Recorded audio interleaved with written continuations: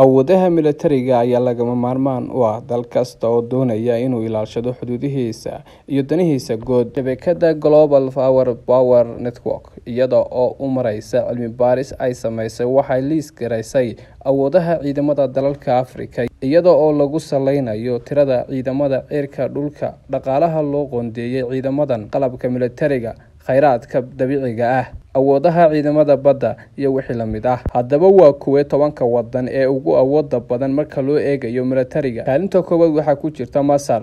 Masar guud ahaan waa waddanka hogaamiya militariga qaaradda Afrika sababo la xiriira tirada ciidanka ee dalka ayaa sidoo kale kaalinta laba tobnaad ku jirta marka loo eegayo awoodaha militariga caalamka. Ciidanka Masar waxay leeyihiin ciidanka badda, ciidanka cirka, ilaa shan boqol oo kun oo askari ayaa lagu qiyaasaa ciidamada Masar, waana tirada ugu badan ee waddamada Afrika. Kaalinta labaad waxaa ku jira waddanka Algeria. Sida dalalka kale ee galbeedka Afrika, Algeria waxay ku guuleysatay inay howlgeliso ciidanka awooda badan oo ka dhisan dhulka, badda iyo cirkaba. Guud ahaan marka loo eegayo awoodaha militariga adduunka, Algeria waxay soo galaysaa kaalinta toddobiyo labaatanaad, waxay leedahay ku dhawaad boqol iyo soddon kun oo askari iyo laba kun oo ah gawaarida gaashaman. Kaalinta saddexaad waxaa ku jirta Koonfur Afrika. Maadaama dalkanu aanu dagaal gelin muddo dheer, hadda Koonfur Afrika hadda Koonfur Afrika wuxuu ciidankeeda adeegsanayaa tiknoolajiyadda casriga ah si ay u ilaaliso nabadda iyo iskaashiga caalamiga ah.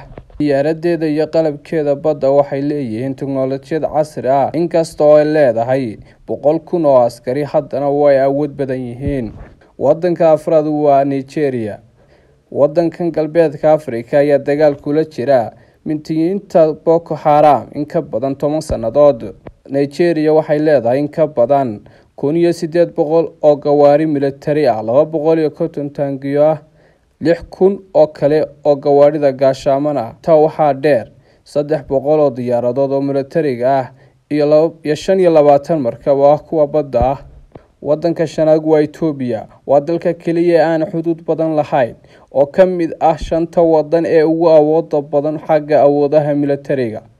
Dalku wuxuu dhaqaalihiisa ugu badan ku bixiyaa tayeynta ciidankooda. Waddanka lixaad waa Angola. Ciidanka Angola wuxuu leeyahay saddex qaybood: ciidanka cirka, ciidanka dhulka, iyo ciidanka badda. Dalkan oo leh ceelal shidaal ayaa waxa u fududaatay in uu helo kharashaadka badda ee uu ku bixinayo ciidamada. Waxay Angola leedahay boqol kun oo ciidan, shan boqol sideetan iyo shan oo ah gawaarida militariga, saddex boqol oo taangi, laba boqol sideetan iyo shan diyaaradood oo ah kuwa militariga, iyo konton iyo toddoba markab oo kuwa dagaalka ah. Waddanka toddobaad waa Morocco. Horaantii sanadkan, Boqor Mohamed wuxuu dowladda ka codsaday inay askar ka qorto toban kun oo reer Morocco ah militariga muddo hal sano ah, waxaana la filayaa in tiradaasi ay kororto oo ay gaarto shan iyo toban kun sanadkan labada kun iyo koob iyo labaatanka. Ciidanka boqortooyadu wuxuu leeyahay boqol sagaashan iyo lix kun oo askari. Waxay kaloo leedahay Morocco laba boqol iyo koob iyo sagaashan diyaaradood, laba kun toddoba boqol iyo labaatan oo gawaarida gaashaman ah, kun iyo boqol iyo sagaal taangi, iyo boqol iyo koob iyo labaatan maraakiib quuse. Waddanka sideedaad waa Suudaan. Militariga Suudaan ayaa waxa uu sare u kacay xilligii madaxweynihii hore Cumar Xasan al-Bashir, wuxuuna maalgelin ka helay Sacuudiga dhowrkii bilood ee la soo dhaafay markii ay xukunka la wareegeen militariga. Ciidanka ayaa waxay gaarayaan boqol iyo afar kun oo askari, koob iyo sagaashan diyaaradood oo militari, afar boqol iyo toban taangi, afar boqol iyo saddex gaadiidka dagaalka ah, iyo sideed iyo toban markab oo quusa. Waddanka sagaalaad waa Jamhuuriyadda Dimuqraadiga ah ee Congo. Jamhuuriyadda Dimuqraadiga ah ee Congo waa dalka labaad ee ugu dadka badan qaaradda Afrika oo ay ku nool yihiin siddeetan iyo lix bilyan. Dalku waxa uu leeyahay boqol soddon iyo afar kun oo ciidan. Inkasta oo tiradaasi ay jirto, haddana weli ay ka hooseeyaan dhanka tababarka marka loo eego ciidamada waddamada kale. Waddanka tobnaadna waa Liibiya. Militariga si wanaagsan ayuu u qalabaysan yahay. Dabcan, lacagta ka timaada iibinta saliidda ayaa sabab u ah. Waddankanu wuxuu hadda u kala qaybsan yahay Tripoli iyo Generaalka Fallaagada ah Genaraal Haftar oo ay taageerayaan waddamada reer galbeedka ee awooda badan sida mareykanka iyadoo ay taasi jirto ayaa haddana dalka weli waxa uu haystaa laba kun iyo shan boqol oo gaadiid dagaal ah shan boqol oo taangi lix boqol oo hub ah iyo lix kun iyo shan boqol oo ah gaadiidka dagaalka axmed qani star t v. Xowlaadaha lacaguhu xirfadaha cilmiga koray waa hanaan ku xidhan oo deg deg iyo xilgudashada xaslashada ammaanada xaqiiqdii dahabshiil baa ku caaneed ku dirsa dahabshiil ku hel lacagtaada ii dahab adigoon isowleyn aqalkaad ku nooleed albaabkiisa joogana.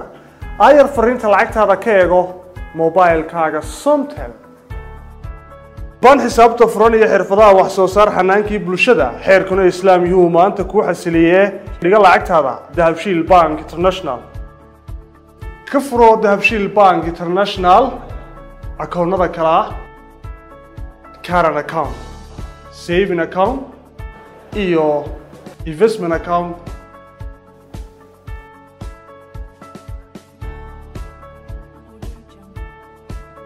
ku xidho akoonkaaga dahabshiil bank international adeega casriga ee edahab.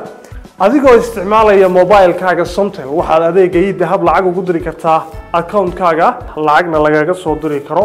Si toosana ugala socon kartid dhaqdhaqaaqa akoonkaaga dahabshiil bank international. Ku isticmaal mobilkaaga somtel adeega casriga ah ee 4g oo xawaarihiisu aada u sarreeya kuna isticmaal meel kasta iyo mar kasta. Video call 4g ku isticmaal simikaadhkaaga somtel adeega casriga ah ee ila soo hadalo waddamada adduunka qaraabadaada iyo asxaabtaadu ay kugula soo hadli karaan cod saafi ah iyo weliba qiimo aada u jaban. Ku xidhnow shirkadaha xulkoodii dahabshiil group wixii aad lacag dhiganayso iyo wixii aad lacag diraysaba ballanteennu waa dahabshiil dahabshiil group